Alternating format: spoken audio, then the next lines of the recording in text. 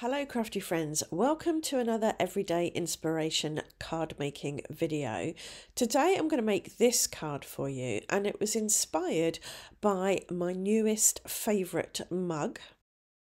I bought this mug recently, I think it was TK Maxx and I just love that deep indigo colour with the white marks along the top. So I thought I'd try and recreate that in a card. So I've got a piece of mixed media paper here and I'm giving it a really liberal application of chipped sapphire distress oxide. I'm not looking for a completely solid colour because my mug has a fairly speckled appearance I think so I want lots of blue but I'm quite happy with having some white paper peeking through the blue ink. Next, I squirted or misted really on some water to increase the speckled appearance. So I did a couple of fine mist squirts with my water bottle, left it for a few seconds and then rolled a kitchen towel over it to pick up the water. Off camera, I gave this a good drying with my hair dryer because what I wanted to do next was heat embossing and I didn't want any ink to still be wet because then you get random bits of embossing powder sticking where you don't want it. Next, I chopped my blue background into four pieces because I wanted to do four little experiments trying different ways to add the white marks. So the first way is to stencil on some embossing ink and then emboss with white embossing powder. When I was thinking of how I could make these marks, this stencil jumped out at me because although they're wider marks than on the mug, they do have that same kind of vibe. I only wanted to do three rows because I wanted to keep some of the blue background unmarked like the mug. Once I poured the embossing powder over the inked area, I set it aside so that I could do all my heat embossing in one go because my next experiment was stamping and heat embossing.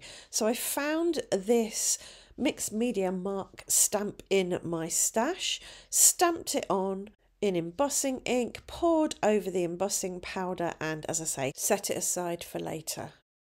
Experiment number three was to use an embossing ink pen and hand draw the marks myself. I then poured embossing powder over the top and took the three panels that I had added embossing powder to and heated them with my heat tool to see what they looked like finished.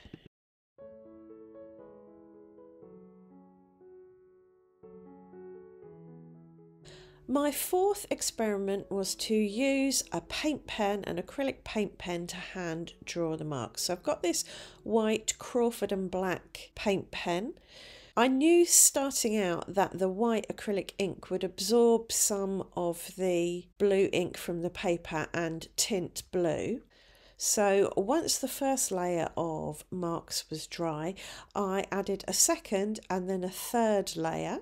And once I finished that, I remembered I had some bleed proof white ink. So I thought I'd give that a go to see how blue the white ink would tint.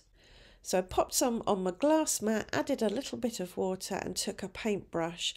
The white marks did absorb some of the blue, so I could have done a second coat or I could have done a few marks, given them a blast with my hairdryer, and then done a few more marks and dried them, and then a few more marks and dried them, so that the bleed proof ink didn't have a chance to pick up much of the blue.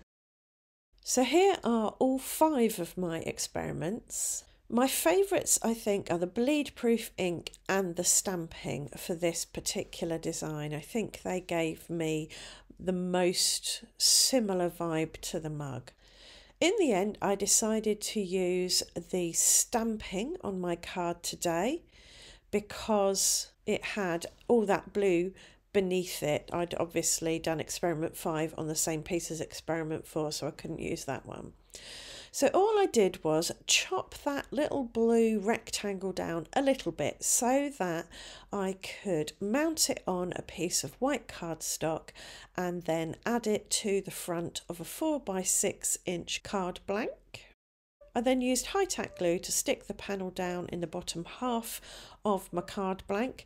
Initially I was going to use it with the marks at the top of the panel but as I was about to stick it down I thought actually no I want to use it the other way up because of that little gap that I left when I stamped I thought that would look best on the left hand side and I could add my focal point over that gap for my focal point, I die cut a branch out of white cardstock. I then popped it on my grip mat and used a finger dauber to add a light blush of the chipped sapphire, making sure to catch the embossed texture.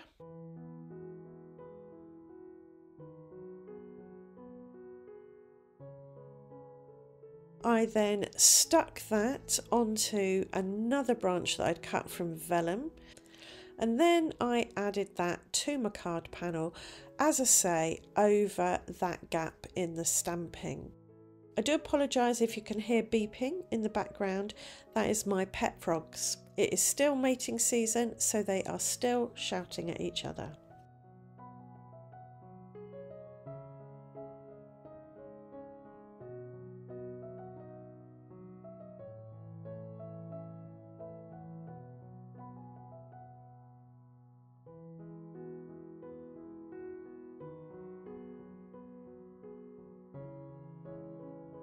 For my sentiment, I chose a stamp that said a little something, so this card can be used for pretty much any occasion, I think. I stamped it on white cardstock, cut it out with a stitched rectangle die, and then I felt that the card needed a little something extra. I asked my daughter what should I add, and she said silver dots.